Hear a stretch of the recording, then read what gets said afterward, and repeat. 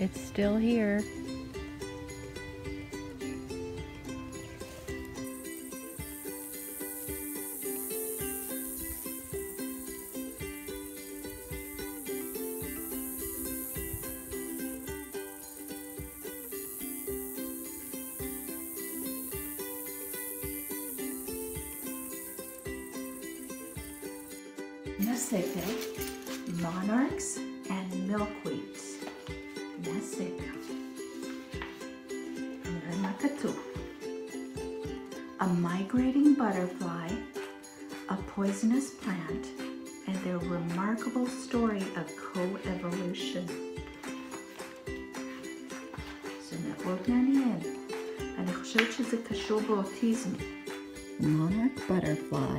A handsome and heroic migrator.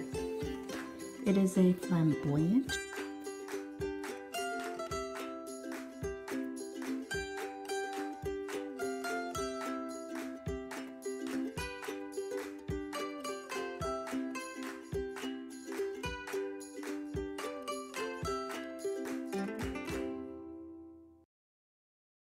We are live, and I'm so happy uh, to introduce our guest, Professor Anurag Agrawal.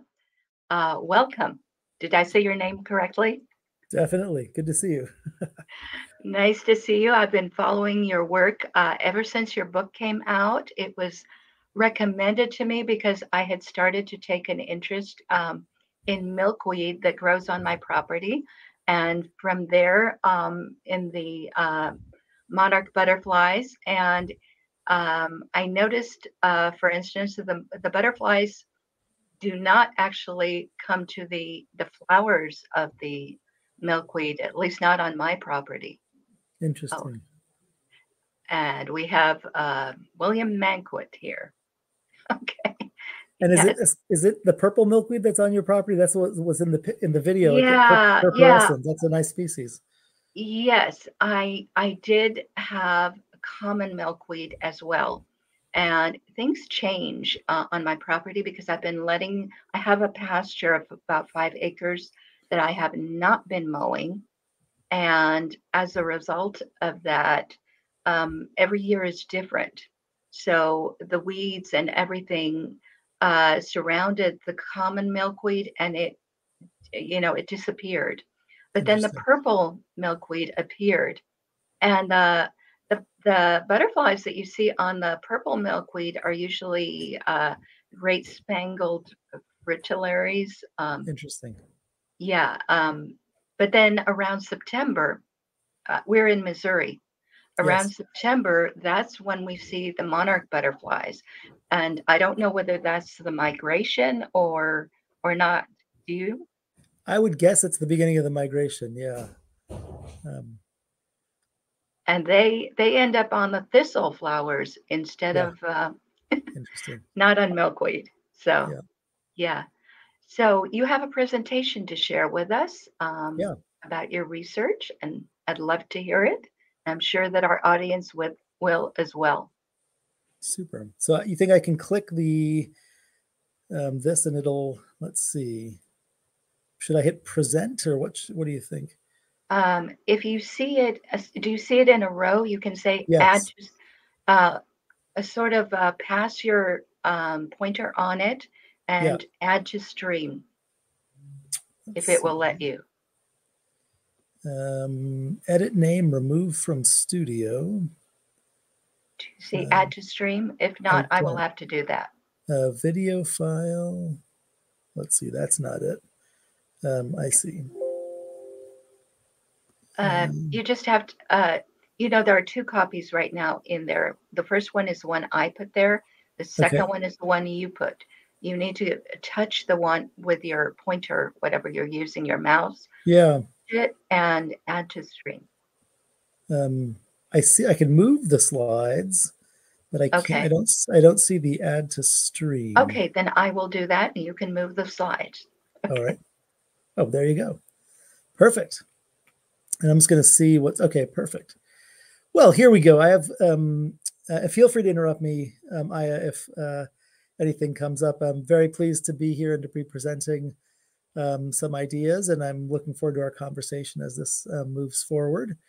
Um, I'm going to present in three uh, parts.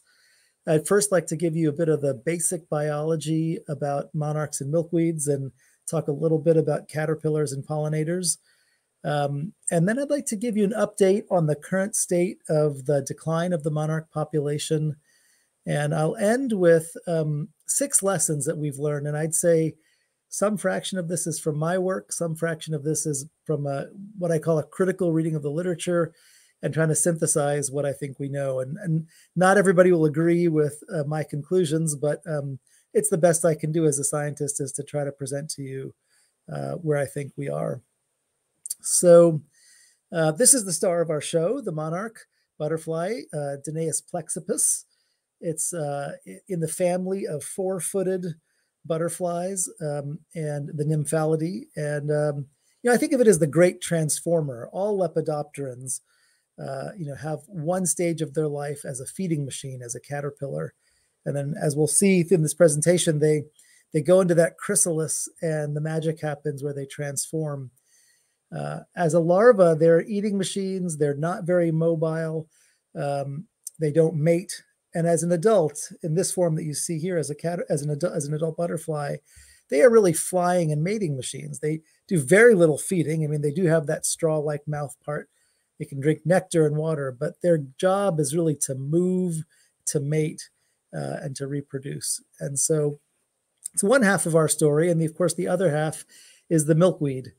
This is the common milkweed, uh, Asclepias syriaca.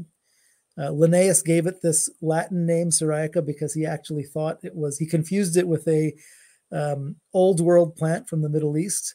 And the name syriaca comes from being from Syria, he thought. Of course, that was wrong. Um, nonetheless, it's a North American native and has shared a long evolutionary history with the monarch butterfly. And that's one of the things we'll be talking about um, later on. One of the things I'll show you pictures of this in a bit, but my research in part uh, is about the, the monarch itself, the chemistry of the milkweed plants, and really the diversity of the milkweed plants. There are some 130 species in North America of Asclepias that are all food for the monarch. Uh, but more importantly, it's a genus of plants that's diversified into a tremendous number of habitats. And uh, 100, 130 or so species, which is a wonderful amount of diversity for one kind of plant. So, I can you see my pointer if I use it like this or no? Like if I'm no, you don't. I, I don't. That's fine. Um, I'm going to present to you very quickly the life cycle of the monarch uh, in the kind of annual calendar sense, starting with where we are now. We're in June of 2023, and uh, in June through August, there are multiple generations, two to three, of monarch butterflies in the northern areas. I've seen my first ones here in central New York. They've been reported in many places. They've moved up um, and they are feeding, turning from eggs to caterpillars to adults. Um, they're having another generation. And what will begin to happen at the end of the summer is they'll begin that migratory phase. Where they've come from is starting their caterpillar and uh, butterfly generations in March in the Gulf states in Texas. So the mm. first generation that comes from Mexico arrives to the Gulf states centered on Texas, lays eggs, and the adults die at that point. Those adults are eight months old. They're faded, tattered. Half of them have bird peck marks in the wings, but they lay eggs and die. Um, but the eggs turn into caterpillars, those turn into adults, and then they move up north. And through that process, we end up to June and July where we are now. Again, at the end of the summer, oops, at the end of the summer, I see I had an animation in there that um, doesn't show up, and that's all right. At the end of the summer, they will begin the migratory phase. And the critical piece about that is that in the March through August time, as you can see in the slide, they're breeding. They're eggs, caterpillars, and adults. They really need or rely on milkweed plants. Beginning in late August, when the caterpillars um, uh, and adults now, when the, the adults, excuse me, begin their southern migration, they cease to rely on milkweed really for the next six months. Um, they are nectaring on plants like thistles that I and I were just talking about, goldenrods, other plants in the aster family. They need that fuel to get to Mexico, but they don't really need milkweed at that point. They are basically flying machines, uh, sometimes up to 30 to 50 miles a day, riding on winds, taking a month to get to the mountains of Mexico. They overwinter there for four months, rel- relatively inactive at that point, and um, uh, and only then do they uh, return, and the rest of the cycle begins again. I want to have a brief note here about the importance of citizens or citizen scientists, non scientists, non professional scientists, if you will, engaged in understanding the biology uh, of monarch butterflies. And this began all the way back in the 1940s um, with two scientists, Nora and Fred Urquhart, who were at the University of Toronto. They developed a tagging scheme that they really used through the very early 1990s which was later uh, picked up and let's say perfected by Monarch Watch, another uh, another organization which continues to uh, engage in tagging and citizen science. But the key point is at the time when the Urquharts began working on monarchs, the world of entomologists and lepidopterists knew that monarchs went somewhere in the winter. Um, and they knew they re-arrived and the, they they came back in the spring, but there really wasn't knowledge of where they went. Of course, there was a group of indigenous folks in the highlands of central Mexico that were quite aware of monarchs and their great abundance in the, but there wasn't a lot of communication at that time point between those communities and uh, entomologists in uh, uh, in the U.S. or in Mexico, for that matter. So through this tagging program that began in the 1940s, the overwintering grounds were discovered. And folks, you know, it's one of these amazing things where um, it wasn't announced on the evening news, it wasn't announced on Twitter. The discovery of the overwintering grounds was announced in the August 1975 issue of National Geographic. And um, one of the two citizens, um, uh, Catalina um, Trail, is pictured here on the cover was responsible for working with the Urquharts and basically helping to find those overwintering sites. And you can see an aerial image here on the right hand side of the overwintering sites next to an open or grassland area called a llano. And that red or orangey rusty color you see on the trees there is not, uh, you know, dead fir trees. It's it's butterfly wings. The density is just tremendous. And we'll talk about this more later, but the way we census the butterflies in the winter is not by counting them individually, but really by looking at the amount of forest area occupied um, by those uh, by those butterflies. Now, monarchs are native to uh, the Americas. Uh, Eastern North America is where the biggest population is. That's what you see is sort of in the upper central part of this slide. Uh, but they certainly get down into South, uh, Central America and there is a subspecies that occurs in northern South America. And then, of course, there's the other native population known from California. But monarchs have been widely introduced in the world. Wherever milkweed has gotten to and has become abundant or feral, monarchs have followed.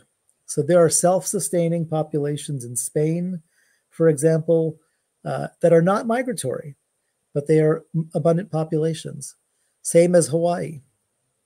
And then our populations in New Zealand and in Australia. And in Australia, the monarchs, being the wonderful adaptive organisms that they are, undergo a different migration at a different time of year in a different direction on different trees. So it's a very, very flexible, some would even say weedy species, where it has been following in a way the host plants and um, been able to colonize other places in the world. In fact, every 20 or so years, a monarch butterfly is reported in the United Kingdom. And there isn't milkweed there, but there's a lot of really great lepidopterists that know butterflies when they see them. And so uh, those butterflies that are flying occasionally every couple decades in the UK make it through transatlantic blowing episodes where they probably get caught in storms and get blown, but they survive and actually make it from Eastern North America to wow. the UK. And that's probably how they ended up in Australia and Hawaii and Spain and other places. Okay, so um, the story I want to tell you next is one about the battle or the coevolution or the the the the arms race some people call it between monarchs and milkweeds um, these two organisms are highly adapted to each other and so the important piece there is that they've shared a long history um, but few biologists would say that the relationship is anything but antagonistic. It's not a uh, a particularly peaceful or a particularly harmonious or positive interaction uh, in general. The monarch is a parasite. It eats. Its only food is the milkweed, and the milkweed expends a tremendous amount of energy and effort, if you will, to defend itself. And the way I'd like to demonstrate that for you is um, through the dance between uh, a barrier to feeding that the plant presents and then the counter adaptation or the way in which the monarch circumvents that defense. And there's a, a dance of three that I'll tell you about here, but there's probably many more uh, back and forths in a way that you know keep biologists like me in business. Um, and so it all starts quite innocently like you know in, in, june in central new york the picture looks something like this. A milkweed plant has come up from its perennial rootstocks uh, most of the biomass of a milkweed plant is underground with rhizomes and roots. The above ground portion dies back each year uh, in the winter. But then through that process of roots coming to life they push up new stems the plants look relatively clean and at the same time, the monarchs are migrating back from Mexico, and an egg is laid on a leaf, like you see right here. Well, four days later, the egg hatches. The first meal it takes is eating the eggshell itself, which has some protein. But what happens next is that monarch experiences a barrier to feeding. And that barrier to feeding is the trichomes or the leaf hairs that are on the milkweed leaf. And you can see them on the bottom of the um, the picture here on the right, where there's kind of a snowiness. Well, that snowiness are the leaf hairs. Before the monarch can take a bite of that leaf, it has to mow that lawn. Its mandibles are tiny, um, and they're at a scale where it cannot sink those mandibles or those teeth, if you will, into the leaf until it clears that area. So what you see on the right-hand side is a monarch after 28 minutes or so of grazing. But that grazing isn't actually consuming the leaves, it's actually just cutting hairs, moving them on. It's not ingesting them, moving them away so that it then can actually take a bite. So, in this co evolutionary dance, the plant has erected a barrier to feeding these leaf hairs or trichomes, and the caterpillar is circumventing that by shaving them. And that's before it's getting any nutrition out of the leaf. Now, the next barrier to feeding is uh, the latex. And for any of you that have broken a milkweed leaf and seen that white sticky stuff in your fingers, or it's actually very common, about 10% of all plants make latex. So perhaps you've broken a fig leaf off of a fig tree or a papaya, or a, even dandelions have a little bit of latex. If you break one of those leaves, you'll see that white gummy stuff there. Well, latex is packed with poisons. It coagulates on exposure to air. It gums up the caterpillar's mouth parts. And so, um, many, many monarch caterpillars, upwards of 30%, literally die on their first day of life in a droplet of latex. And that's what you see here on the left. I didn't stage this photo. I found it in the field, found the leaf in the field. The caterpillar had shaved the trichomes. It then takes its first few bites up top. And a pressurized system of late of canals delivers a big droplet of latex. And if the conditions are right, it might carry that caterpillar off and glue it dead to the leaf, as happened here. But in this dance, uh, of course, the monarch's only food is the milkweed. So those that survive this first day ultimately make their way by deactivating the laticifers, by um, by removing or cutting the veins that deliver that pressurized latex. And the monarchs have two ways of doing it. When they're tiny, you can see what they do in the upper right here, and that is they painstakingly cut these circles where there's a glob of latex that uh, uh, exudes there, and they might get some on their head, and then they spend their time kind of thrashing and getting it off. But once they make an island that's free of pressurized latex coming in, they're then free to feed on that leaf um, and um, free of latex.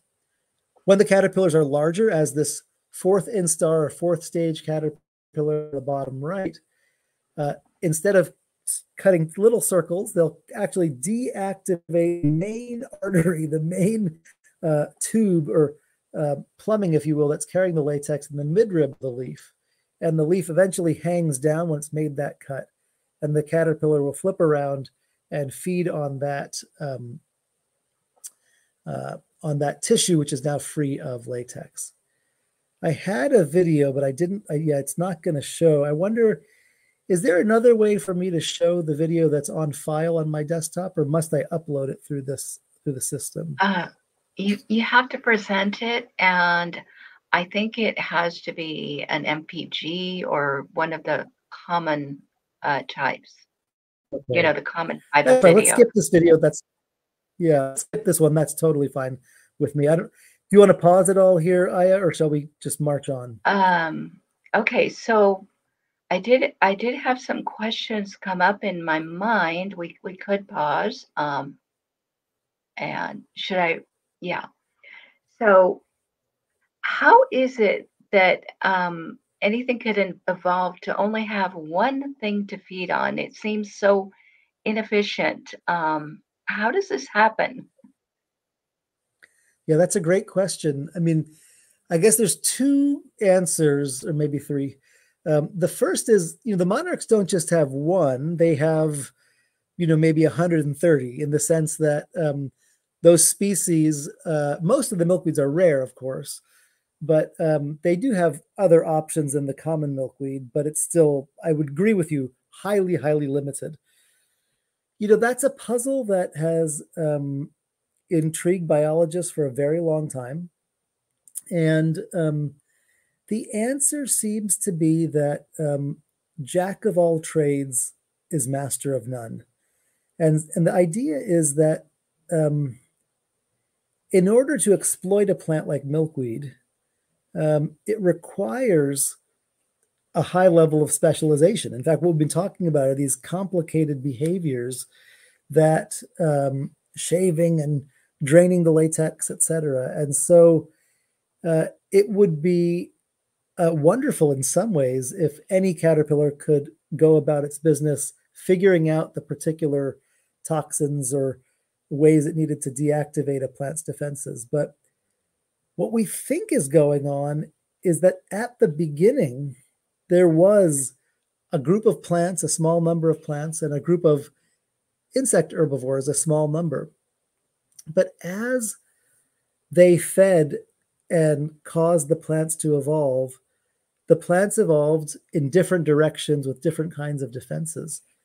And insects, in a way, had to chase, in, evol- in an evolutionary sense, one of the strategies um, and overcome those strategies. And it simply wouldn't be possible to overcome them all. So, one of the consequences, which is kind of interesting, is that we have, I don't know, 400,000 species of plants, and we probably have around 4 million species of insect herbivores. Uh, maybe there's only half that many. It's not exactly clear to me, but there's several million.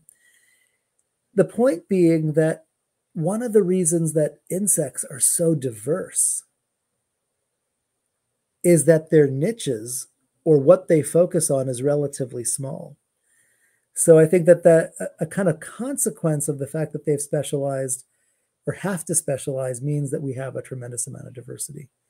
Um, but perhaps you want me to give shorter answers. I don't know if that was too no, long. No, no, no, no. That's good. I so the other question is: Is there any benefit whatsoever that is received by the milkweed plant from from the monarchs? Yeah, that's a good question. I would say um, we'll talk about pollination in a couple of minutes, and the monarchs really don't do uh, mm-hmm. much of the pollination of the milkweed for various reasons. So I would say um, there are certainly no obvious benefits. And if there are benefits, I would guess they're small. Um, and on balance, by feeding on the milkweed leaves, um, the the effect is negative. Um, yeah. So, do you think that to the extent that the monarch population might be declining, do you think the milkweed is gaining the upper hand, or are they both being defeated by something else?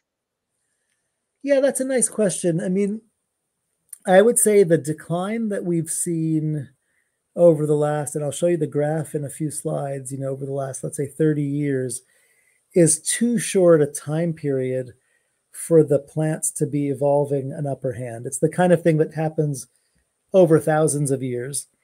And interestingly enough, um, and this is really hard for, for me to conceptualize, I imagine it's hard for most people to conceptualize, that as the plants are adapting um, over those thousands of years or millennia, um, it's not that the upper hand is likely ever gained in a very strong way because it's simultaneously the uh, the fact that the herbivores are evolving at the same time. They don't wait a thousand years until the plants have evolved better defenses and say, "Okay, I'm going to go for it now."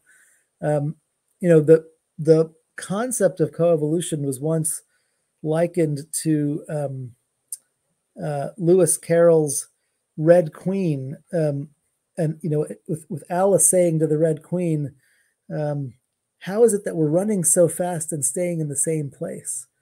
Um, and the notion is is that when two organisms like monarchs and milkweeds are co-evolving, even though they're both adapting, um, they're not really able to get the other the upper hand because the, even though they're both running, they're running basically with each other because uh, they're adapting at the same time. And so, anyway, that's uh, okay. Yeah. All right. Um, yeah, but there there are other parasites that worry the the milkweed, right? Certainly, and uh, yeah, I'll show you a little bit about them in a minute. Okay. All right. Yeah, I'll move on for now, and we'll. Okay. Um, so in this dance of coevolution, we have the leaf hairs, we have the latex, and the other thing that milkweeds are famous for is their toxins. Uh, some of you may have tasted a little bit of latex that's bitter. Uh, those of you that are uh, old enough to have learned biology in the 1980s, maybe even in the 90s uh, or earlier, know that monarchs uh, gain protection from their own predators by sequestering toxins from the milkweed plants. And these are called cardiac glycosides. They're called cardiac glycosides in part because they have a strong impact on heart function in vertebrates, including humans. Um, but one of the most prescribed drugs to treat congestive heart failure is a cardiac glycoside. Um, so the plant puts forward a poison in its leaves. But in this case, the monarch has genetic adaptations which make its physiology basically completely or nearly completely tolerant of those toxins. And the monarchs have taken this a step further. They pack away those poisons in their own body such that when a naive bird consumes a monarch, as you can see here in the central image, quite repeatedly, about 12 minutes later, the uh, blue jay, in this case, vomits. And that's what you can see in this famous picture uh, taken by Lincoln Brower, the late Lincoln Brower, which uh, were often referred to as Brower's barfing blue jays because of this thing that he demonstrated, which is that the plant toxins end up in the butterfly wings and end up causing them. So in the dance, the butterflies even have adaptations against these plant toxins. Nonetheless, if the caterpillars survive, uh, as many do, uh, once they've completed development, they enter the J stage, which probably many of the viewers are familiar with, before they pupate and show their chrysalis. And this transformation of shedding their final uh, uh, layer of skin and turning into a chrysalis happens in about 30 minutes. Of course, there's still a soft, gooey chrysalis at that point, but it hardens up. They then wait about eight days or eight to 12 days. Um, and then they emerge over the course of about 10 minutes, dropping out of that chrysalis, transformed from that feeding machine into the flying and mating machine of the monarch butterfly adult. Um, all right, so uh, this is I these were going to click in, but this is just fine. Um, uh, what I'm showing you here uh, all at once is a little bit about the pollination of milkweeds and um, the reason that monarchs are in fact not very good pollinators of the milkweed. So what you don't see, um, but is in the background there in the middle, is a monarch butterfly sitting on top of a milkweed flower. And the way that monarchs sit on these flowers, they do drink the nectar. They'll put their proboscis um, or their uh, their mouth like their straw like mouth part into the flower and drink the nectar. But they don't really get out the pollen grains and then later insert them for uh, another plant to make seeds. And part of the reason for that is that milkweeds are special. They are one of the only groups of plants, like the orchids, that don't have free flowing pollen grains. Instead, milkweeds package their pollen grains into structures that we call, or packets that we call pollinia. That's what you see on the upper left. In order for the pollination to occur, an insect or a scientist with the tweezers has to lift or pull that wishbone shaped pollinia out of the embedded tissue in the flower that you see on the bottom left. And then later it has to insert it even if by accident, into the slit, which is right below that wishbone on the image of the flower. And what that takes typically is an insect that is a little bit, has come some spiny legs, and that might be kind of crawling all over that flower, drinking the nectar. Um, and its legs would be kind of rubbing up and down right in the area where the wishbone would then get pulled out. That's what you see with the honeybee on the right. Mm-hmm. On its bottom leg, you see a pollinia, that orange thing that's stuck to its bottom of its leg. The way the monarch sits on the flowers on top, uh, kind of perched up there and drinking the nectar, it simply does not come into much contact with the milkweed flowers, with the milkweed pollinia.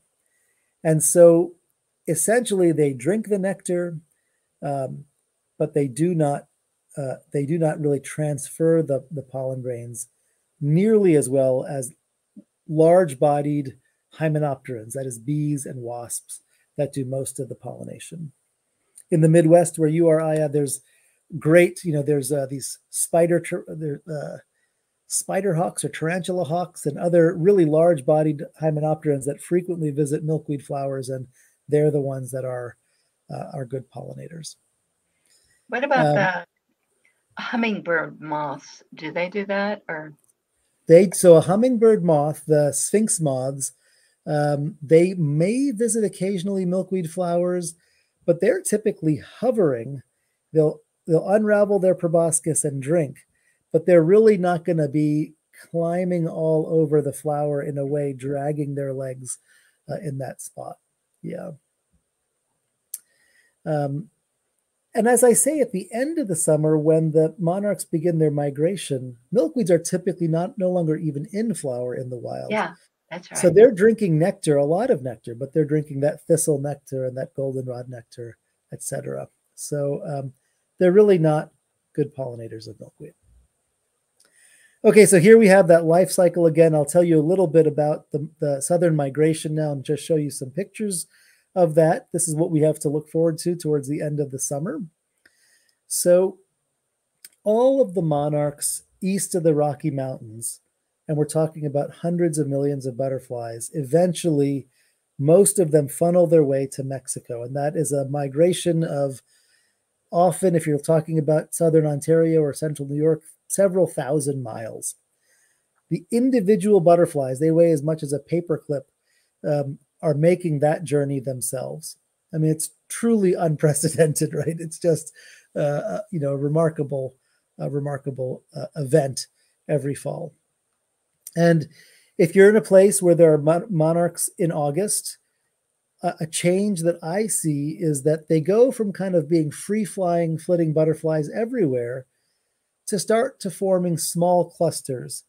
This image was taken in southern Ontario, and this is the beginning of the migration where in the afternoons, uh, monarchs will begin to form clusters, nectaring on goldenrods and things. And the next day, they'll be orienting south um, and flying all day as long as it's a clear and sunny day. If we look to where they're going, they're going all the way to these highland mountains around 10,000 feet of elevation in central Mexico. Um, maybe you'll remember I was showing you that little uh, grassland area. They tend to orient onto um, the sacred Oyamel firs. These are this is fir forest that you're seeing here in Mexico, right next to these open grassland areas that are called llanos. And you know the uh, uh, for those of you that have had a chance or that are planning a trip to see the overwintering grounds, it is just it's truly a spectacle. I mean, for uh, for a seasoned monarch biologist like myself, I still, you know, every time I go, and I don't go that frequently, it's uh, it's just a real, uh, um, uh, very special experience, and it it's a combination of the fact that there's just so many of them, with uh, uh, the fact that they've come from so far. Uh, to the fact that you're at 10,000 feet of elevation and the air is thin. And so it's a, just a very magical experience. And they, you know, when it's not sunny and warm, which is much of those four months, they simply coat the trees packed in. Uh, something like 5,000 butterflies per square meter. If, a, if you're in a tree that's well occupied, a square meter looking up would be about 5,000 uh, butterflies. So what you're seeing on here are not dead leaves on these fir trees, it's just packed in uh, butterflies. Just some more images here, and maybe we'll try to make one of these videos work now. Um, let's see. Okay. I'm going to go go to one of these videos, or maybe you can do that for me. Uh, okay. So would it be the first one here? Sure. Uh, Perfect. Um, and yeah, these are just amateur things that I took uh, 10 years ago. So you can, but you can see that this is about the temperature where they're largely clustered on leaves, but once it gets above 50 degrees Fahrenheit, they do take to the air. And let's just show the other one. Okay. So these are oyamel fir trees that are weighed down with butterflies. In, in the background, you can also see them flying around uh, in some great numbers here in the foreground.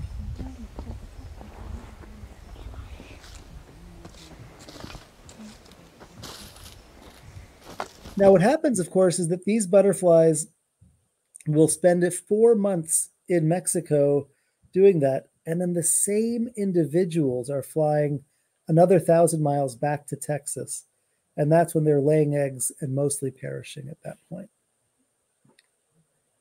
Um, so if we can return to the slides. Okay. Perfect. Thank you. Um, I just brief mention of the other insects that are on milkweed, and I, I bring this up for two reasons. Um, uh, it's a very special group of insects. Um, we've studied them a lot.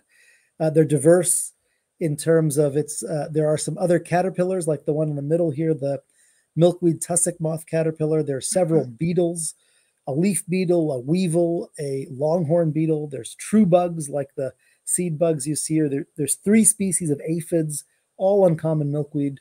There's even a leaf mining fly here on the middle left side. And I I show you these uh, because there's a commonality here. They're all brightly colored and uh, have these contrasting colors. Uh, that's something we call convergent evolution. They've evolved to have this brightly contrasting coloration in part because they're mostly all gaining some toxicity.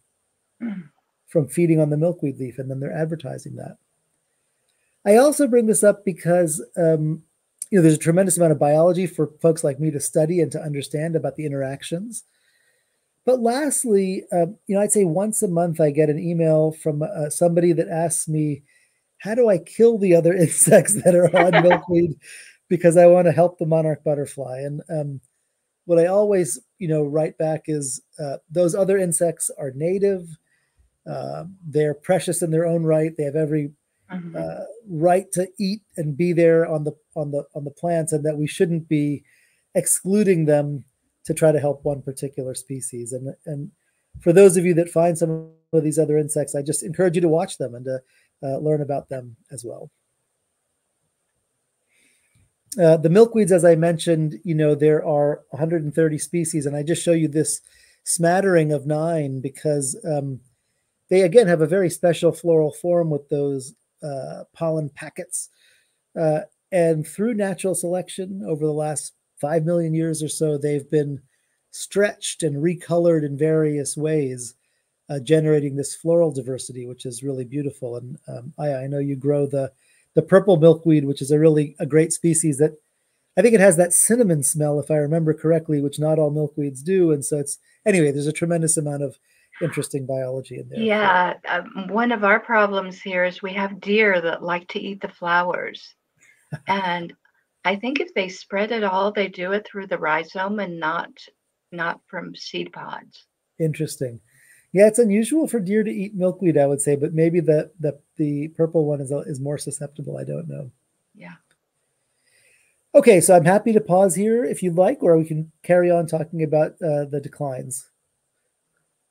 So, uh, yeah, I I think that we have some questions. William here had had a question about dogs uh, hunting for butterflies. I, d- I don't know if that was a serious question, but he said he, on his campus uh, he saw a dog hunting for butterflies.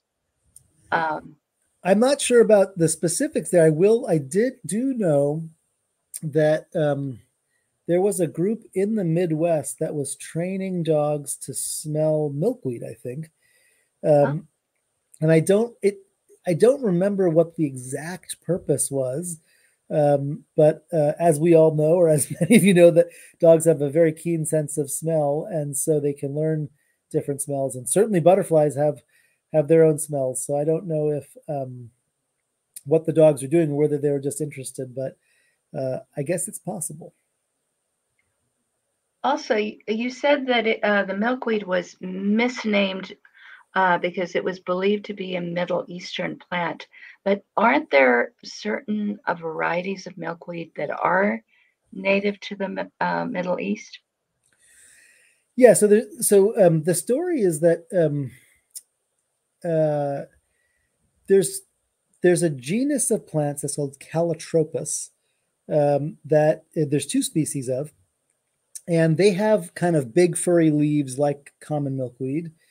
Uh, they're native to the Middle East from you know from I don't know from uh, North Africa kind of all the way to India, um, and um, at the time I think it was in the 1600s, um, some explorers brought plants back from the eastern North America to the Paris Botanical Garden, and um, and what apparently happened is Linnaeus was give was naming this North American plant uh, that was was brought from from from Canada, I believe, from from uh, southeastern Ontario to the Paris Botanical Garden, and he didn't have the flowers, and the leaf shape to him looked so similar to Calotropis that Calotropis didn't have a name at that point is that he named both of them Asclepias syriaca. And I Mm. think it was just at the time there wasn't the notion that it was very unlikely that a plant from eastern North America would be the same species as from Syria. Um, you know, I think now most botanists would say it's the it's a rarity if the same species is going to be in those same two places, but our our notions of species and and biogeography have really advanced. So I think there were probably three things that went into that misnaming. Um, one, Linnaeus and his group of people was moving extremely fast. I can't remember. They named 7,000 things a year. It was just like they were just naming things. And the other is that they didn't have the flowers, which would have given them the, you know, the the clear sense that they were different. And then they didn't know they didn't have this kind of notion about geography and species.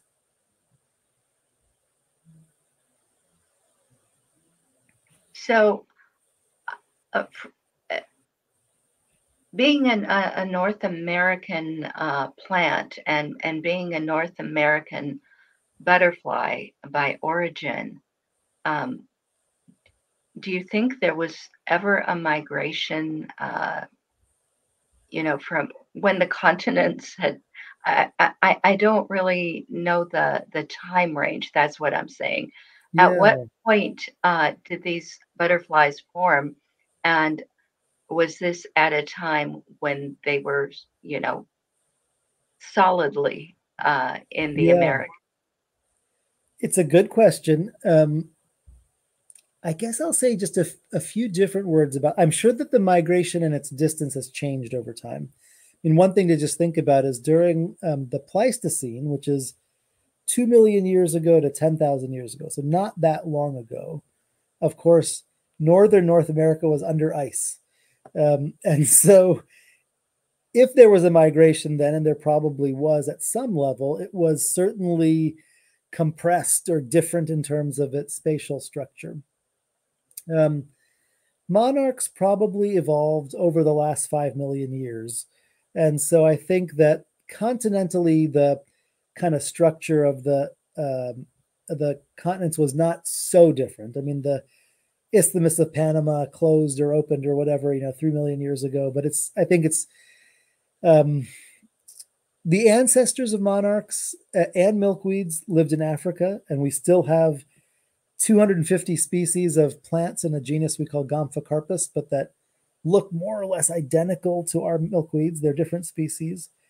Uh, live in Africa, and uh, and Danaus species, Danaus uh, the um, the African queen, as it were. Uh, uh, and so, you know, I think it's hard to know what happened in the past, but I'd say the interactions have been going for a very long time. Uh, this migration, I would guess, certainly thousands of years and probably in some modified form uh, further back. Yeah. All right, well, I'll plow forward for now, and then uh, please okay. interrupt or we'll pause again in a, in a little bit. Okay. So, folks, um, you know, any way you slice it, monarch butterfly populations are declining. Um, what I'm showing you on this graph is the area of forest occupied in hectares, that's the metric uh, estimate of space. We use acres, of course. Uh, it's, there's about estimated about 50 million butterflies per hectare when you have densely populated forest, like you see in this image. Um, the World Wildlife Fund has been doing uh, censuses of the overwintering grounds in Mexico since the early 1990s and more or less doing them in the same way. And what you can see is the population has declined substantially since then. Um, of course, we don't really know about the monarch population before the 1990s, and some people have argued that um, the mid 1990s could have been a particularly boon year or boon set of years, and and that probably is the case. That 96, 97, those that are really above the line, um, the the dash line were were were boon years, but even still, um, there is a clear negative trend here, statistically significant. Um, and the last census, which was released a few months ago, indicates that the populations remain rather low. But you can also see that over the last now almost 10 years, the population has stabilized at this kind of low level. Um, now, scientists argue about the sort of uh, is it stabilized at such a low level that it's in trouble versus is this the new normal where, um, yes, there are a few hundred million monarch butterflies, not as many as there used to be, but the migration is sort of still functioning. I think there's still some debate about that, and I'll be talking about that as we move forward. Um, I'm going to skip this just because it's a little complicated. And I'm actually going to move to um, what we think is going on with that monarch population decline. Um, and what I'd like to um, present to you are really six lessons about um, what we've learned through my work, but also the work of many, many others at other institutions uh, there's an active uh, research community, there's an active debate about trying to understand um, monarch population decline. And so, our first lesson from this work and, and a critical evaluation of the literature is that we don't fully understand the importance of um, what I call the disjunction or, or butterfly loss between the northern breeding regions, where we are mostly based, and the overwintering sites in Mexico. And the point here is that um, when we look at the data, the number in Mexico in the winter tends to predict the number that arrive to Texas, that then later migrate to Illinois and Missouri and New York, um, and even the number that begin to fly south um, uh, in August and September. And even though those numbers actually do predict the number that will overwinter, that is the weakest part of our understanding of the cycle. That's where the numbers get really blurry. And, you know, there's a lot that can happen for a, uh, an individual butterfly that weighs as much as a paperclip flying 3,000 miles. And um, there has been a lot of uh, of research about this, and I would say that um, we still don't really understand. I would say it's pretty clear that the fragmentation and agriculturalization of of the U.S. really uh, has contributed to the monarch's decline.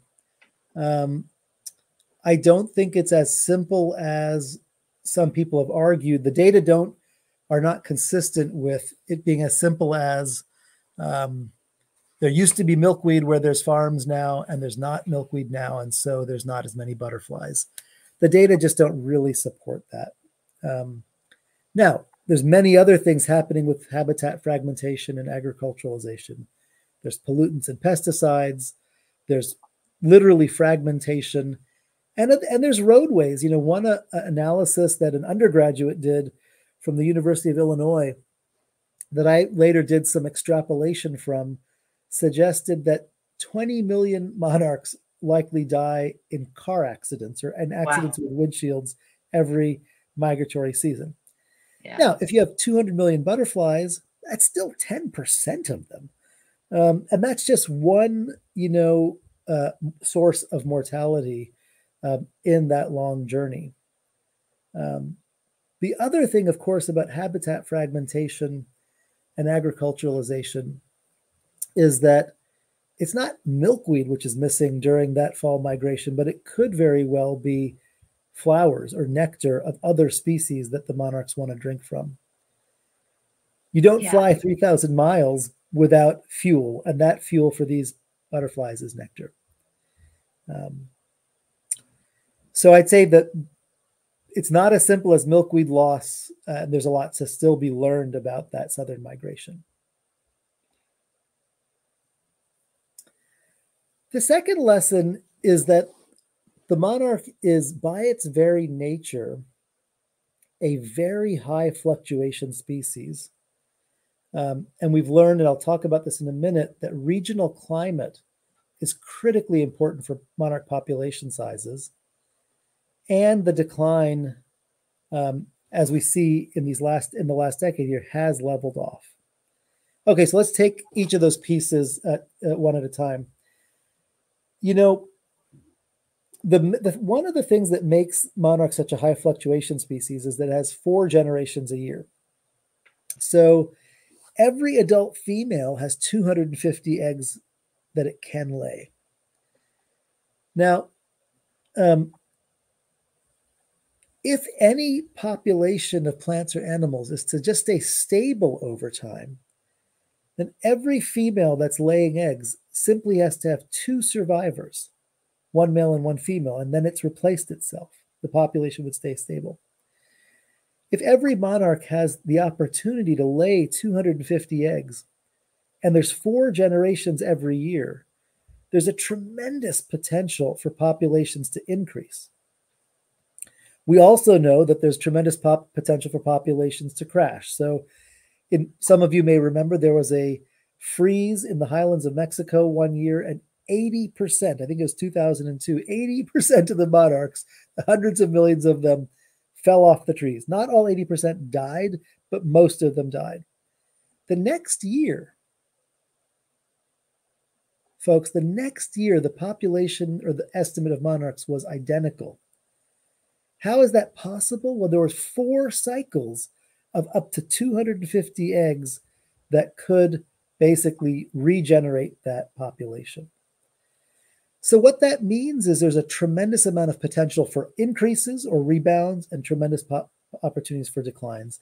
And you can see it in this graph. Uh, there are years where there's doublings and triplings, and there's years when there's halvings and, and, and quarterings of the population. Um, secondly, regional climate is super important one of the things that we learned is that the four years that were the absolute worst for the monarchs, 2010 to 2014, were also the 50 to 100 year droughts that were experienced, especially in Texas and in northern Mexico. And that observation that the worst years were also really big drought years caused a group of scientists, mostly at Michigan State University, to undertake a large model statistical modeling exercise. And what they revealed was that spring rains and fall droughts, which result in which affect really how many flowering plants are there in the fall, strongly, strongly impact the fluctuations that we see in monarch abundances. Now, that's not causing the decline that you see there um, in the sense that there hasn't been a linear decline over 30 years in spring rain and an increase in fall droughts.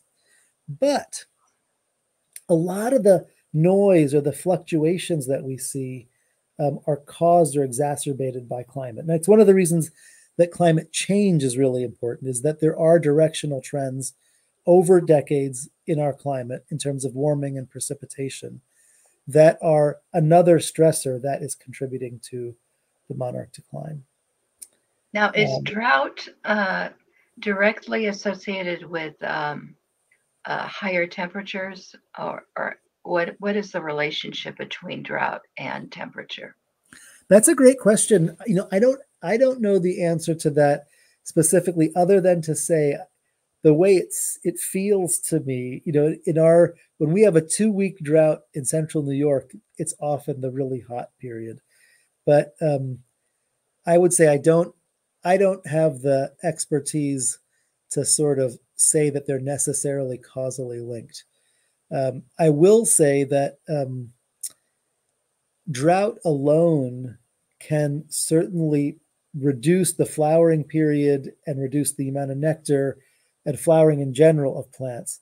And if it's coupled with high temperatures, of course, it's likely going to be even worse because the plants need to trans they lose water uh, at higher temperatures and um, are not able to then regain it. I have some chickens and ducks and turkeys, and I water them. And I noticed that on days that do seem kind of dry, a lot of the butterflies hang out with with the chickens and the ducks. Um, and I think it's just the water that I give them that they're interested in. Absolutely. No, yeah, that's really, I mean, that's really true. And the other thing that butterflies go for, of course, um, is salts. So I don't know how you water them, but um, I don't know if any of you have had this experience, but if you're in a in a hot, sunny place, um, old shoes, or if you take a uh, if you pee in the woods or in the in a spot, it often or you have little if you see little puddles of rainwater that are drying up, they're often very attractive to butterflies and it's because butterflies, in addition to craving, craving and needing water, they need salts um, for their uh, uh, spermatophores. And uh, a, a, great discovery that was made, I think it was at Cornell in the 1960s, was the role of salts and the attractants, um, why that attracts uh, butterflies. All right, let's move on. Um, a third critical uh, lesson from the literature is that the role of parasites and predators of monarchs is very large, but the links to monarch decline uh, have not been that well studied. So, in one study, I was not part of this study. Um, the uh, number of parasites and predators, insects that ate monarch butterflies has has been increasing. I believe from I can't remember if it was the year 2000 to 2015 or so. Another study has found that the prevalence of a protozoan parasite, one that you wouldn't see with your, your naked eye, but that is highly detrimental to monarchs, has increased from 1% uh, about 20 years ago to about 10% now. And the thing that was really striking about that study to me is it wasn't two data points, you know, 20 years ago and now, and a 10% and this increase from 1 to 10%. There was sampling all over those 20 years, and there was basically a incremental or linear increase over the past 20 years. So, you know, some of these parasites are native, some of them have been introduced. So, um, the uh, there was a, a, a, fly that was introduced to control um, the, what was formerly called the gypsy moth, what's now called the spongy moth, Lymantria dispar. It was introduced in the 1950s. And uh, that uh, parasitic fly I find every summer coming out of monarch caterpillars. Um, so, you know, those accidental introductions have also caused uh, a bunch of issues. So it's it's an understudied and yet likely important area of uh, stress on the monarch population. These are, by the way, these are fly pupae that all came out of uh, these two caterpillars. So the flies will lay a number of eggs uh, on the outside of the monarchs. They burrow in and then they eat them from the inside out and then emerge. It's really quite gruesome. We still have a lot to learn about sublethal effects of pesticides, lack of nectar, uh, food quality, etc. And the work is just beginning to come out, like this paper, which just came out a couple of months ago. Um, you know, neonicotinoids are a highly controversial pesticide. They're, of course, uh, uh, uh, farmers rely on neonicotinoids in many ways, but they've also been banned in Europe because of their negative effects on, on uh, bees and pollinators. Uh, I'm sure that's being considered uh, in various states in the US banning of neonicotinoids. And I think one of the insidious things about both things like climate change and insecticides is that most insecticides and their residues aren't killing monarchs. We can still count them, but they're causing them to be weaker and smaller and sicker. And when you have a 3,000 mile journey to undergo, uh, having high quality nectar uh, and having large wings and, and enough fuel uh, and the musculature is obviously uh, uh, really critical. And so I would say that, you know, as is the case in all science, you start with like the coarse level analysis. Are insecticide residues killing the animals? Okay, maybe they're not killing them, but there are sublethal effects that need to be investigated, especially because these monarchs are traversing Canada, US, and Mexico tasting their way the whole whole time, right? They're drinking that nectar the whole the whole distance. So lesson number five um, is that planting native milkweeds certainly won't hurt, um, uh, but it will not necessarily solve the problem. Um, I show you two images here. Michelle Obama, when uh, her family was in the White House, they planted some milkweeds in the kitchen garden. So in addition to having edibles, they planted some some milkweed because they wanted to help the monarchs and the and the and the pollinators. Uh, my garden in the front of my house. This is my son. Uh, many years ago, we have the milkweed. We watch the magic every year. Um, of course, I think there's there's many many positive things about planting native milkweeds, um, but I think thinking that that's the, the data don't support that that will solve our issue, um, and and the underline here is about native milkweeds because as um, you know, depending on where you live, uh, certain milkweeds may be uh, common or native in the landscape and others not. And um, you know, planting milkweed has become a business like any other. And what that means is uh, you can find milkweeds to plant, but they're often not native ones. And there's now some work suggesting that um, the tropical milkweed in, in particular, what's called um, Asclepias curassavica, or um, uh, I don't know what the other what the common name is, tropical milkweed, I guess mostly. It it's problematic in a few different ways, um, especially when planted in the southern U.S.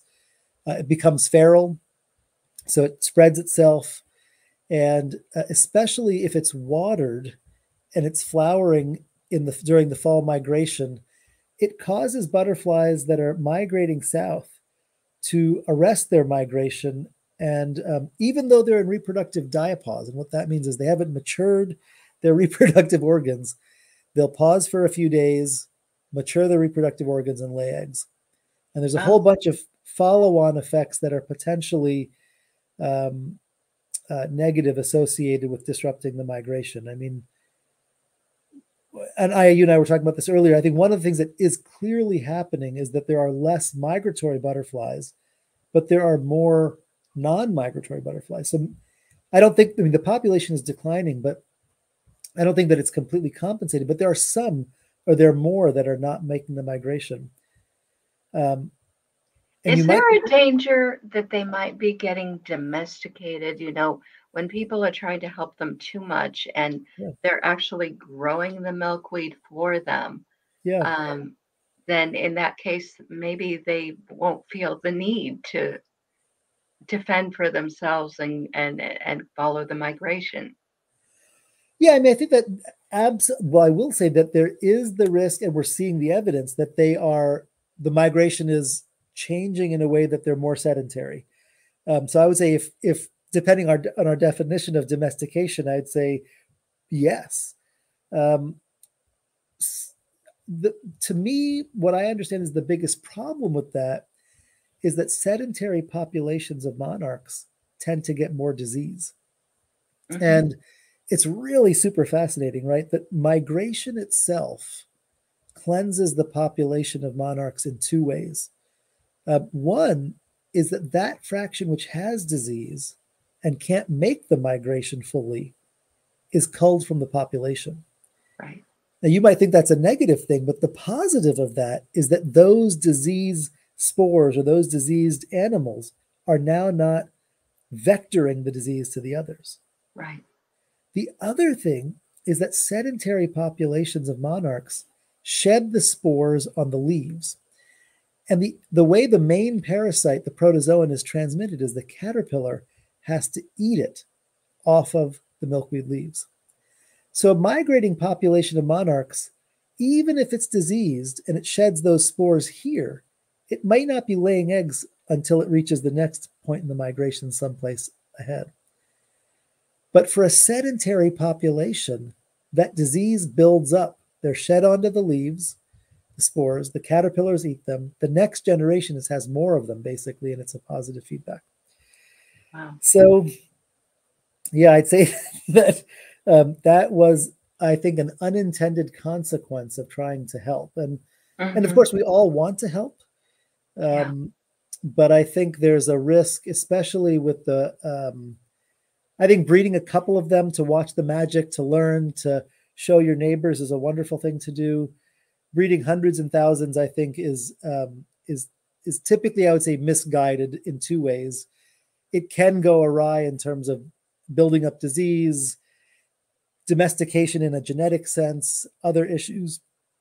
But the other thing I think that's misguided about large scale breeding is that um, we're talking about hundreds of millions of butterflies, and I sometimes think of them as like in a sink, um, and you know there there's a leak in the sink, so they're they're they're draining out, and instead of trying to fix the leak, we're adding a few more butterflies into the sink by um, you know by breeding them, and I think it's just it's it's not the way to solve the problem. I mean, uh, and it has potentially negative consequences. So, what is the way to fix the leak? Well, um, you ask the hard questions.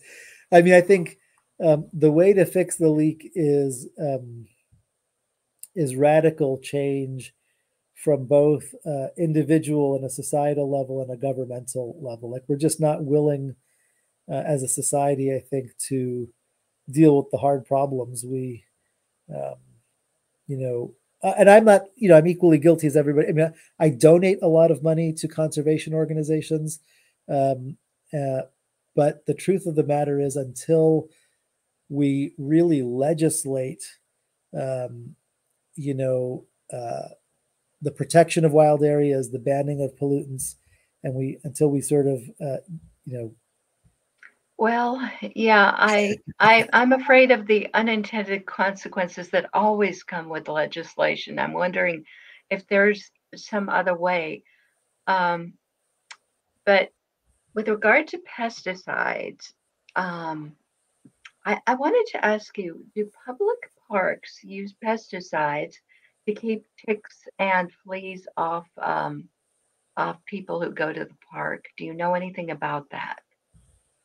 Well, certainly there's a lot of spraying and insecticides on public lands. Um, you know, I, am sure it's different by every county or in every uh, every park, but I would say my knowledge of the Northeast is that in various botanical gardens, when they have invasive insects, um, they spray the trees. You know, outside of my building, there were some viburnum shrubs that I was uh, on the Cornell University campus, and I was collecting leaves for an experiment, and um, my insects died, and they I found out they sprayed it with insecticides. So I asked the grounds folks to not spray that with insecticides, and a month later, the tree was the shrub was cut down.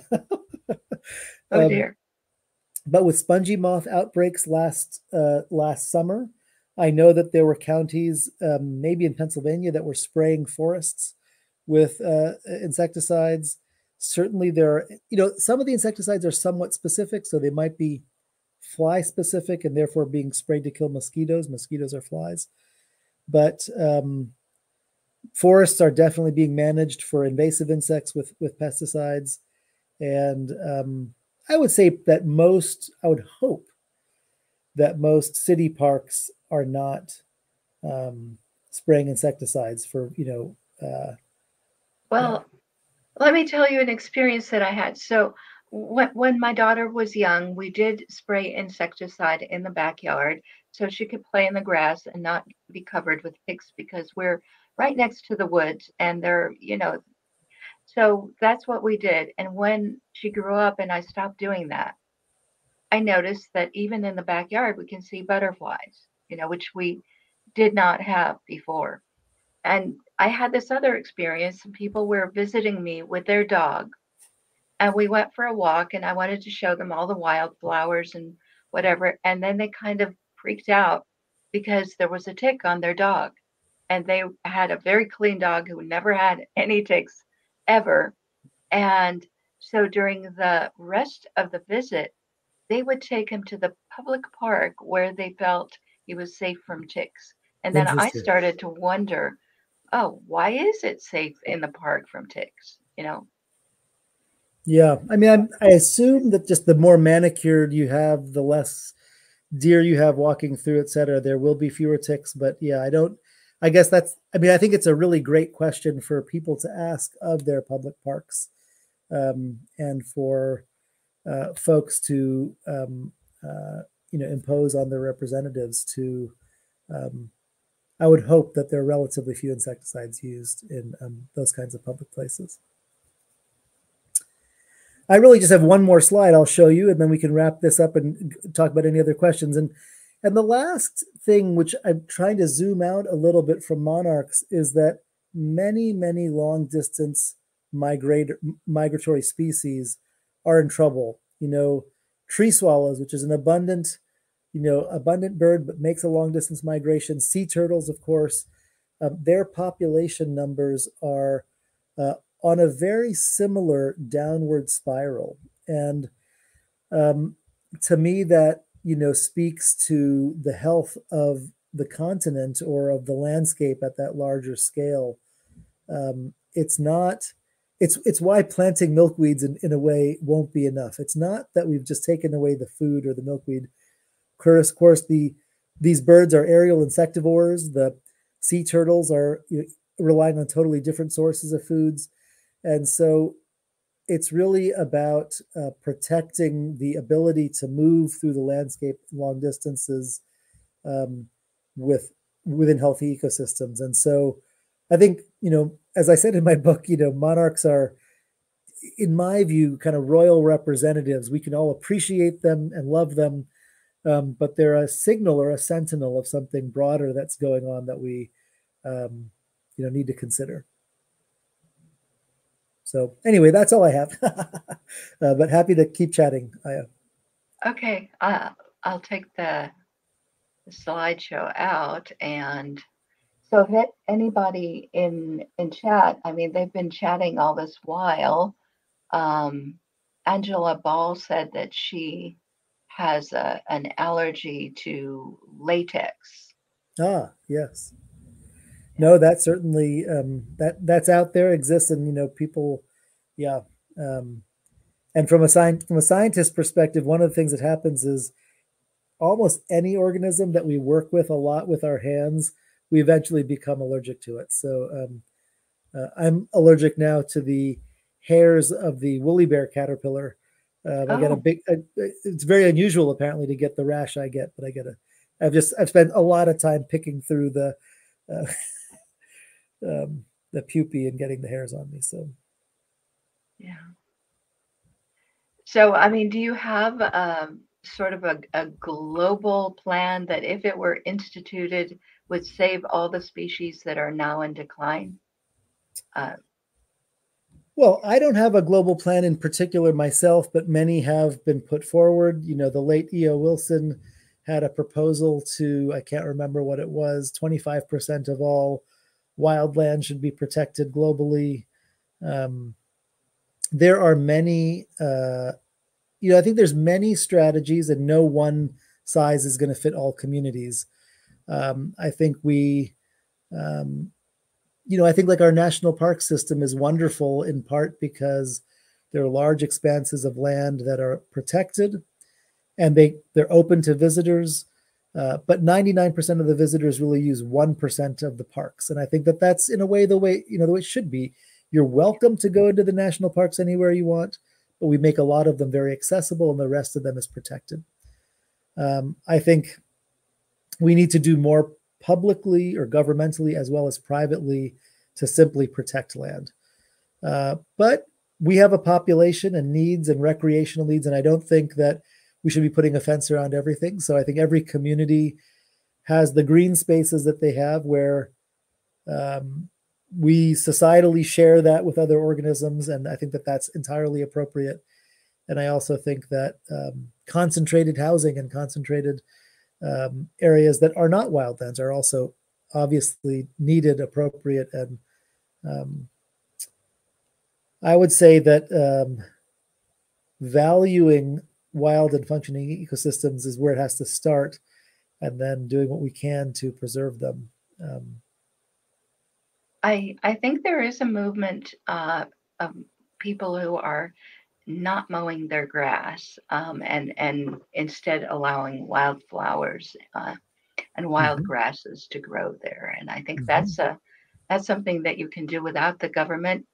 In fact, what you need to do is get the zoning laws changed so that people can do that. Certainly, I agree with that. Yeah. Um, and you know, when you don't mow grass, I, there's a part of my lawn that uh, I stopped mowing as soon as I moved into this house, and all kinds of interesting organisms colonize. And so um, we have a question here from Val Frankowski. Aren't there studies that the summer populations are not declining at all? Yes, there absolutely are. I was part of one of those studies. Um, I think that comment relates to the fact that there are four generations a year. So, in other words, because there's four generations a year, if any one of them is declining, what that suggests is that the whole cycle has a bottleneck or a, or a, or a pinch point or a problem. And in particular, in the Mexican overwintering grounds, um, you know, millions of acres of, of, of U.S. land is where all the butterflies come from, but funnel down into this area, literally the size of New York City, these 12 mountaintops. And so yes, the decline is happening there each summer as they repopulate and have four generations. The populations build up to the point where at least I and, and some others don't find a strong decline. But the fact is, when they then cycle back to Mexico, the numbers are again very low. And I think that's problematic in the sense that very low populations put the, at, in any one stage put the entire population at risk. But I would agree with you that during the breeding season, the monarchs are typically able to rebound, and that's a positive thing. So, would you say that the situation in, in Texas is ideal for their breeding? Um, uh, would you say there's a problem in Mexico right now? Well, there's problems everywhere. Uh, the problem, in I think, in Texas, as I would understand it, is there's a lot of wildlands in Texas. Um, is that you know with climate change in particular, um, for example, the Northeast, at least New York, isn't uh, predicted. It's going to get warmer. We're going to have South Carolina weather in about 40 years, but um, the amount of precipitation is not predicted to decline in uh, in New York. In some of the drier regions, for example, in um, in Texas, where it is predicted to get drier, that's a, a going to be a bigger issue with with regard to um, uh, reduced uh, vegetation quality in flowers for um, for nectaring. Climate change is a question from Val also about uh, in, in Mexico. I mean, super big issue uh, where the monarchs go at 10,000 feet in elevation, um, you know, is essentially at tree line. Basically, what I mean by that is at 10,000 feet, there are the Oyamel firs. And if you go up 300 feet from there, 100 meters above that, there basically aren't trees. Um, and so as the climate warms, the Oyamels are doing more poorly at 10,000 feet of elevation and so there's a lot of work in Mexico to plant trees at higher elevation where they can now grow because it's warming. But of course, tree growth takes decades and the monarch populations are declining uh, fast. And so, um, yes, climate change uh, is certainly relevant to the forests in Mexico. Now, is there, in terms of uh, uh, the forest being deforested, I mean, is there something of that sort also taking place in Mexico? Yeah, there's always some illegal logging. I'd say my understanding is that the Mexican government has done a you know an excellent job of protecting and expanding as much as they can the biosphere reserve. Uh, that was decreed a reserve in the early 80s, and then there were buffer zones and additional zones, and it was uh, corridors. Uh, but I would say, as is the case everywhere, um, there's basically uh, a fundamental conflict between um, uh, economic development, successful livelihoods of communities, and protection. And, and it's worse in some places than in others. Um, in the Mexican highlands, uh, it's you know currently large pressure to grow avocados. They grow well uh, at that at those high elevations, and um, there's a direct conflict between avocado farming and um, and monarch protection. In addition to the general pressure of harvesting wood, uh, you know that happens certainly all the time. But there are there are guards, there's enforcement, but it's there's a conflict there. Yes, absolutely.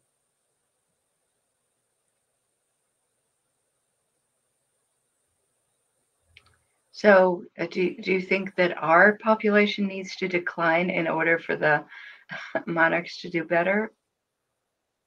Human populations? Yes. yeah, I'm. A, I, uh, I, mean, yeah. So it, it sounds like uh, we're taking up too much space. Well, we're taking up we're taking up too much space and consuming too much. Absolutely, and um, you know, I think. Um, the planet can certainly sustain uh, 11 billion people. That's the projected kind of plateau. But I don't think that that's a world that most of us want to live in. In other words, with 11 billion people that are trying to live um, with high standards of living, which means a lot of consumption, whether that's you know meat or energy or whatever, um, that is not a, a, particularly fun planet to live on. I don't think. Um, so yes, absolutely. There. Um, I mean, I think there needs yeah, to be. But I mean, if you look at what happens uh, in places like Japan, where there's actually been a decline, um, uh, there there really are some social problems that come with that, because then uh, you don't have enough young people to support the elderly.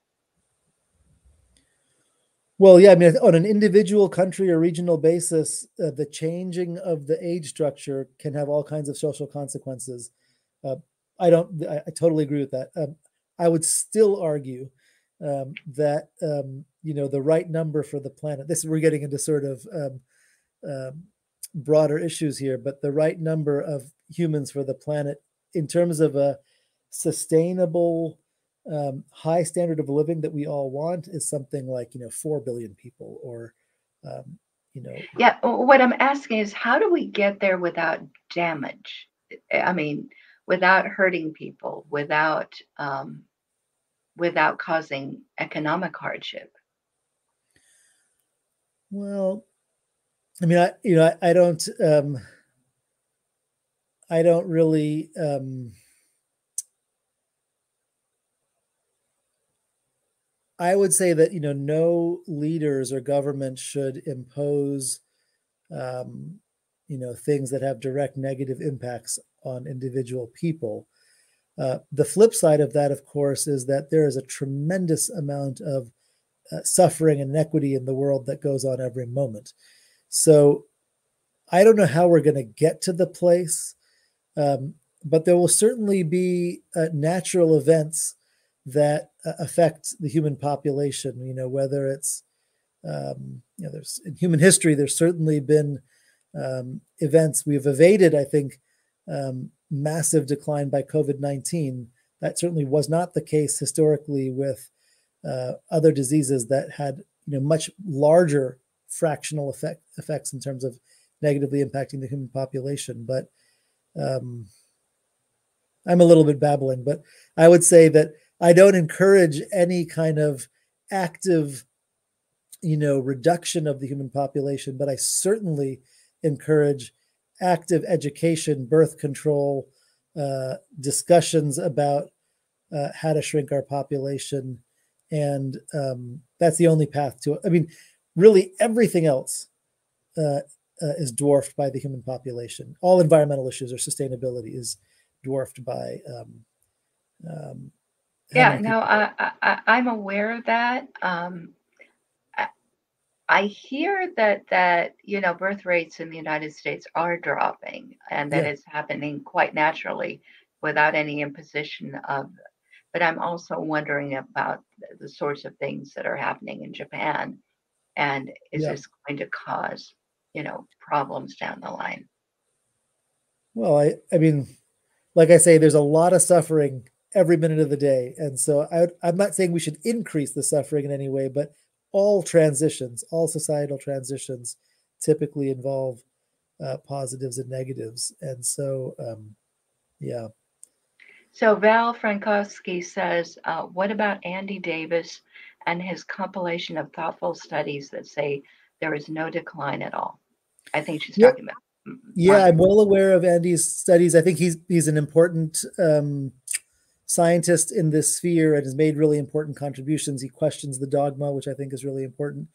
Um, I would say that um, you know maybe he's one of two or three people that might suggest that there's no decline at all. I don't think that. I, I certainly don't believe that. Um, you know, I think um, the decline in the overwintering population is basically um, uh, undeniable. And the question is, is are is there enough buffer or increases during the breeding season, or are there other populations that we haven't found um, that it's really not declining? And I would say um, I don't really know what to say about that. That sort of speculation. There certainly are many more, as we've discussed in this conversation, uh, many more non-migratory populations than there were.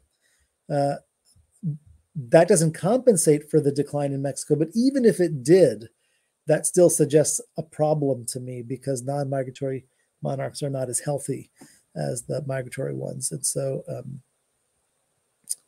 uh, but I'd say that that some of that compilation is relatively new, and I think it's going to shake out with scientists uh, arguing and um, trying to dig through some of that. And yeah, Aya, what Yeah. can you tell me about that slightly disturbing image of myself that you've painted in the back corner? I'm sorry. Uh, well, I have this habit of painting guests that come on the show, and um, so I tried to paint you, but Oh, uh. No, I like it. uh, it's based on the image in the book, of course, and that's intended to be a monarch. Um, although I can't get very high resolution. This is a, a painting in watercolor. And I use very cheap watercolors, and what I found is I, I can, you know, I can close the book and the image remains, and that way I'm not covering my walls with it, all Got these it. pictures. I have another channel where I I indulge in painting, but um, I don't do it on this one because I know most of my audience is not interested in that. So I understand that you were recently, well, perhaps not so recently, chosen to be uh, on part of the National Science Foundation. Um, Uh, I was elected to the National Academy of Sciences. Maybe that's what you're referring to. yeah. okay, yes. So can you tell me about that?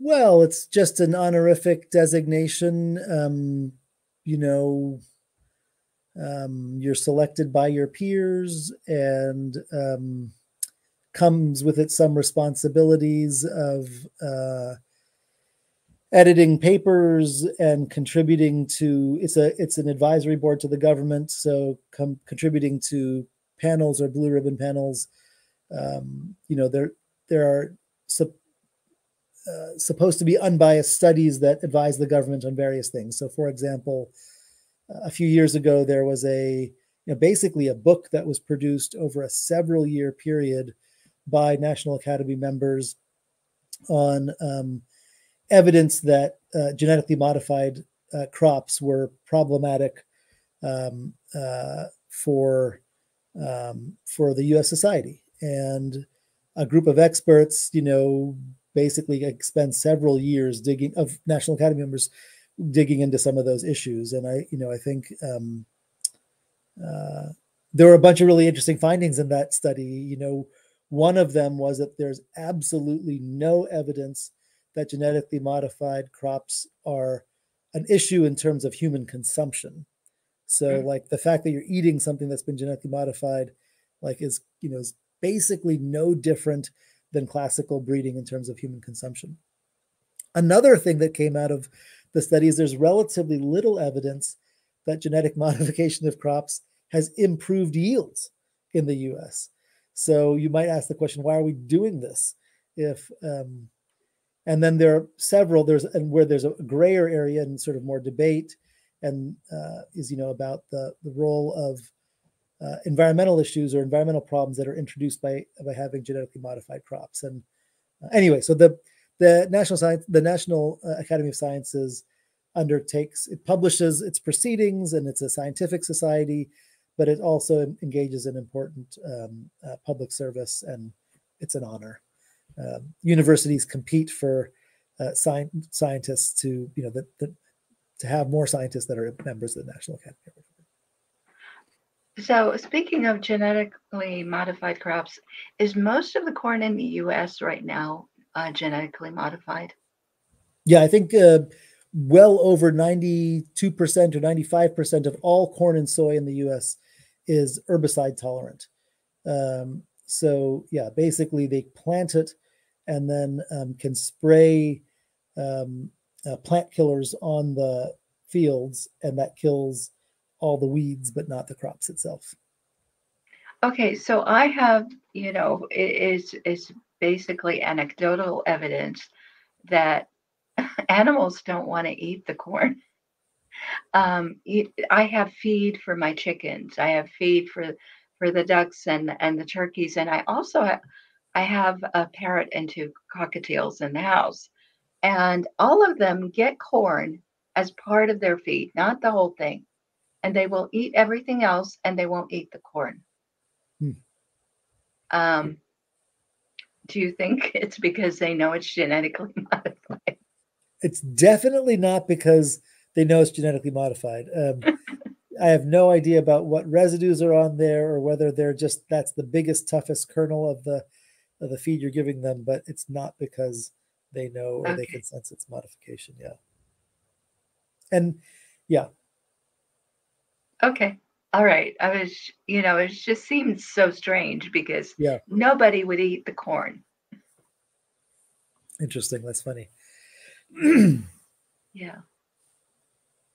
Um, so let's say uh, a young person, such as uh, William here, or one of our other viewers, um, is watching this and is excited about studying monarchs. Uh, what would you suggest to them? What is the best path to take um, if they're interested in that career? Sure, and I would say it doesn't have to be a career. I think it could be, um, you know, uh, a hobby of any kind. Or I think that, um, well, inquisitive, curious people and nature lovers make better humans. You know, and so um, uh, I think we have a fundamental tie to through our evolutionary history with nature, and so, um, well, I would say spending time outside, um, looking for milkweed, observing it. Um, if you de- desire to rear some, rearing one or a couple, um, you know, watching the magic, I think there's no substitute for that. So, you know, I think there's 150,000 species of Lepidoptera, the butterflies and moths, and I think one of the things that makes monarchs special, not unique but special, is that most caterpillars, you know, blend in. They're they're kind of green colored. They feed at night on the undersides of leaves. And so finding them and watching them, and they're rare, most of them. And monarchs, they're abundant. They show up in our backyards. Um, they feed during the day on the tops of leaves, and they don't blend in. They're, you know, they're striped. And so I think that's one of the reasons they've they're such an icon is that you know we can find them, and I think really watching them uh, is the first step. And um, there are, you know, many great websites and books about nature or monarchs, and I think um, um, yeah, engaging with that, engaging with citizen science. There's ways that you can contribute observations, whether it's through iNaturalist or uh, some of these monitoring programs. It makes um, it's a great way to get involved. We have another uh, comment or question about uh, the monarchs in southeastern Australia. Yeah, I mean there is a migration exactly, um, and the milkweeds that are in Australia are introduced. There, uh, there's a couple of uh, there's Asclepias curassavica, there's Gomphocarpus fruticosa. Um, so yeah, I think it's a really neat phenomenon, and I don't think they're causing problems. They're not. They are not native, but they. I don't consider them invasive species in Australia, but probably some people do. Well, um, how is it that the monarchs always manage to show up where there are milkweeds, even if it's a continent continent away? Um, is it by chance? Yeah, I would say it's by chance. I mean, I think it's a little bit of the law of large numbers, and that that we're talking about hundreds of millions of butterflies. Um, one of the things that monarchs do, like um, like some other butterflies and many birds, is you know they're not actually powering their flight uh, for the three thousand miles. You know, they're not. They are riding up thermals, so they find warm pockets of air and will get up to a kilometer up and then they're kind of gliding uh, down in a southward direction. But I think one consequence of riding thermals and being high in the sky is that you can get blown off course. and so um, I think it's part of the law of large numbers with hundreds of millions of butterflies and decades. Um, there are those that get caught and get transported. Um, you know, uh, some of those things you can think of them as aerial plankton. I mean, it's it's just you know it's like a large piece of dust in the air and of course we get all kinds of dust from the windstorms in africa in north america so it's uh, it's more or less the same Okay.